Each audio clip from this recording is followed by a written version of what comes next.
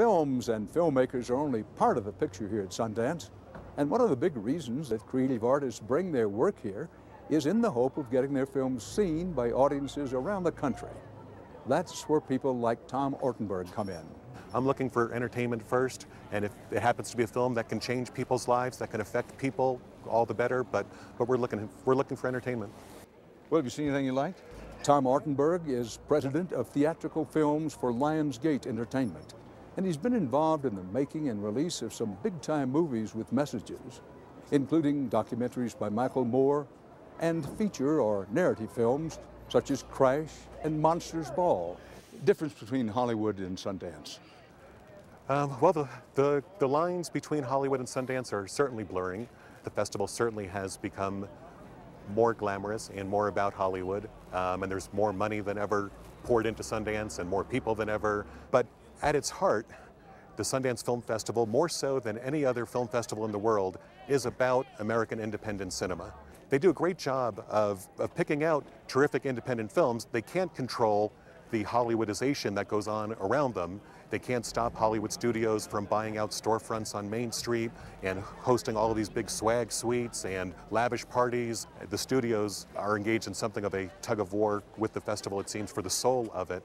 But at its core, it is still about American independent film, and that's what makes it special. What are you looking for when you, when you look at that film? For a narrative, the film has to be entertaining first.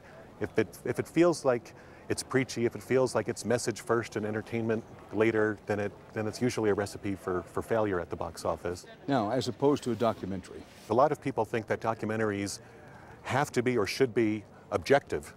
Um, and, and really, that's the, the farthest thing from the truth. Um, I think a documentary, certainly my experience, by definition, is and should be subjective. But it is, it's fact-based, it's telling a true story with real people. Um, but with a point of view with a with a point of view. And it's I think there's a misunderstanding a lot sometimes among filmmakers and among audiences that somehow a documentary shouldn't have a point of view when I think it's absolutely necessary to have a point of view. Do films, both feature films and documentaries, do they lead, help create public opinion or follow public opinion? I think that they mostly mirror it.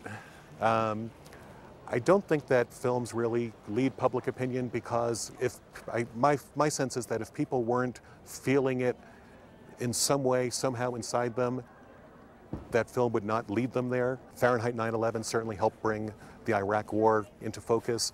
Sicko last year, I think, helped bring healthcare in America into focus. A movie like Crash certainly bring, does bring race relations into focus, but I think it, I think it has to touch something inside people, and it kind of and it allows what's what people are feeling inside, even if they're not aware that they're feeling it or don't know how to make sense of what they're feeling it. But but the best films can bring out the best in people.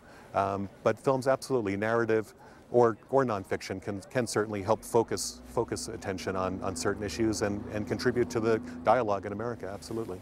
When we return, Hollywood and America changing together.